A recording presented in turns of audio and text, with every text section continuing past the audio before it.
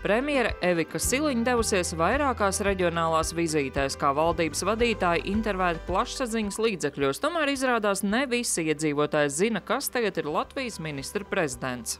Pagaidām nav dzirdēts, ilgi nav internets izmantots, un tāpēc šo jautājumu vēl nemācēšu atbildēt. Nu, zinu, zinu. Nu, kā? Sīvīte. te. Kā sauc? Ai, tie jauno sīvīte. Nē. Galīgi ne. Nemaz nezinu, kā sauc. ja. Nē. Prezidents ir Edgars Rinkevičs, premjerministra sieviete Evika Siliņa. Ja viņa bija, manuprāt, Eiroparlamentā, viņiem vai tik nebija kaut kāda tur sanāksme saistībā ar palīdzību Ukrainai. Un, un, un, jā, nu, saistībā ar to, ka Ungārija tur negrib palīdzēt, un tādā sakarā es atceros, ka viņu labi izskatās salīdzinot ar citiem premjeriem. Nav tā nepamanāma. Iedzīvotājiem arī jautājumu, ar kādu atzīmi desmit baļu sistēmā viņi novērtētu valdības darbu šo 101. dienu laikā. Uzreiz jāsaka, desmitnieku neielika neviens respondents, un augstākā atzīme, ko valdība saņēma, bija deviņi, bet pārsvarā dominēja zemāks vērtējums. Nu, ne augstāk pa pieci.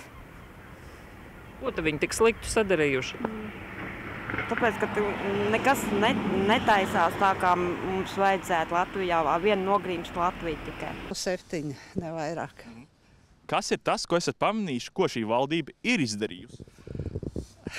Cīnās ar budžetu, bet ko izdarījusi, es neesmu pamanījusi. ļoti daudz izdarījuši, mūsuprāt, manuprāt, personīgi. Jo, jo Stambulas konvencijas viena pieņemšana ir ļoti, ļoti liels solis. Un, eh, jā, ļoti daudz ir izdarījusi. Es ļoti labi vērtēju. Politikā ļoti apmierinoši. Kultūrā man arī apmierina. Veselības aprūpē tur arī lietas pieklibu, bet lēnām uzlabojās. Ir turpinātas uh, iestrādes, kuras jau iepriekš, uh, iepriekšējā valdība ir iesākusi. Nu, diezgan skumīgi pieņemot jauno budžetu ir tas, ka iekšlietu sistēma ir nedaudz apdalīta ar visu šo. Bet nu, es ar tādu ļoti pozitīvu un cerīgu skatu nākotnē.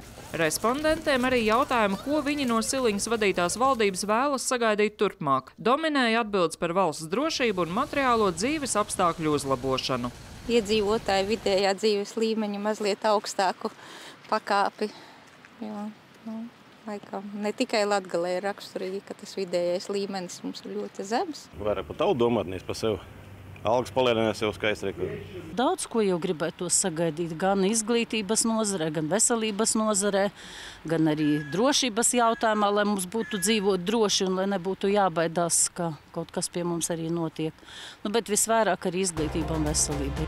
Cik lielā mērā Evikas Siliņas valdībai izdosies piepildīt iedzīvotāju vēlmes pēc pirmajām simts dienām, gan grūti prognozēt. Redzēsim. Ines Česteri, Justs Kurviņš, TV Kurzem sadarbībā ar Latgales reģionālo televīziju, LRT Plus un Zemgales reģionālo televīziju.